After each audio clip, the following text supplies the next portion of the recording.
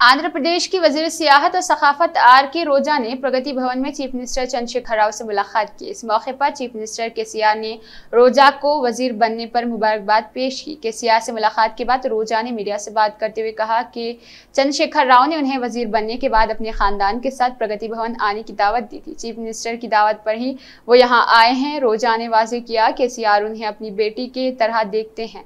इसलिए उनका आशीर्वाद लेने प्रगति भवन आई है।